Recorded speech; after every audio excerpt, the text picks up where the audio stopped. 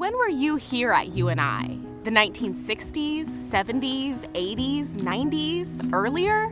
What was UNI like in the 1900s or the 1920s? A group of UNI faculty, staff, and students are making time travel possible through augmented reality. They're collecting historical photos from every decade and matching them to their original locations all over campus.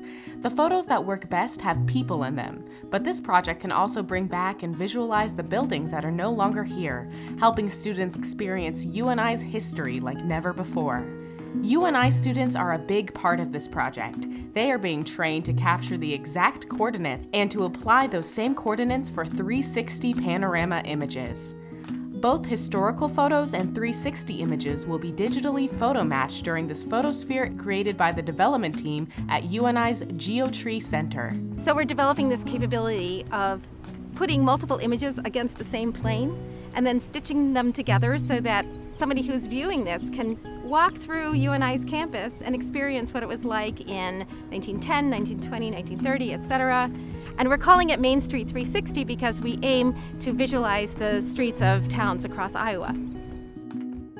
UNI's campus is the perfect place to develop Main Street 360 because students have easy access to geolocate the photos right outside their dorms.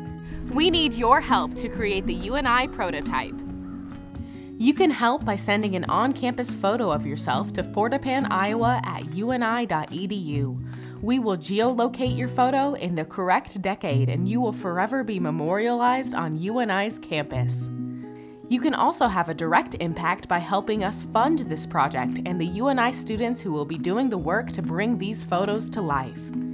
With your help, we will bring new photos into the UNI prototype, help new generations of UNI students experience the past, teach students valuable augmented reality skills, and help bring history to life across Iowa. Visit fortepan.us/give to make your gift today.